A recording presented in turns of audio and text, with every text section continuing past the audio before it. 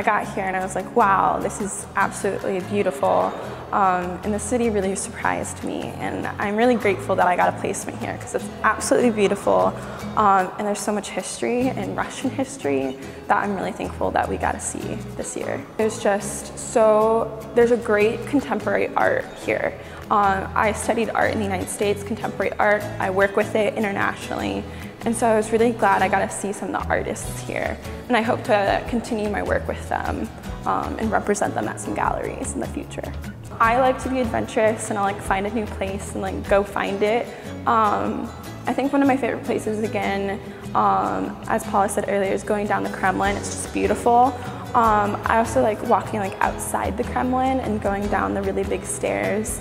I think the embankment area is just absolutely beautiful. Um, and just watching like the sunset over there is like one of my favorite things um, in the city. And I think Bolshaya um, is a great place just to hang out and find something new to do. There's nothing boring on that street. So it's a good place to grab lunch like between classes or get coffee with a student if they have questions.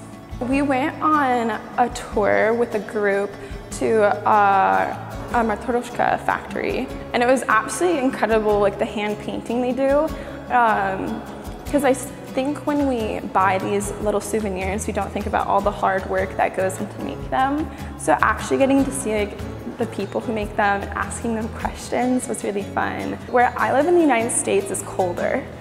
Um, the only difference is here it snows more. Um, it seems like here it's just always snowing. Um, but um, my hometown um, this winter was minus it was minus 40. Um, so it was really cold back where I was from. So I'm used to really cold weather. The only difference is when it's cold where I'm from, we don't walk outside. Um, we drive everywhere. So walking like 20 minutes in the freezing cold, I was like, oh, this is so different. But it was kind of, I learned a lot of just different ways of lifestyle. I actually kind of, I love the Metro and enjoyed it. It's really convenient. Um, we took the um, other bus for a while, just like one bus over here. And that was something very different, like learning to pass down the money and like they cram a lot of people in. Um, that was kind of fun to experience. It's very different, but um, it was just interesting to see. I love borscht. Um, that's my favorite like food here. I love khachapuri, that's like Georgian also. But those are probably like my favorite um, dishes here. I eat borscht. I even make borscht myself. So I love it in the winter.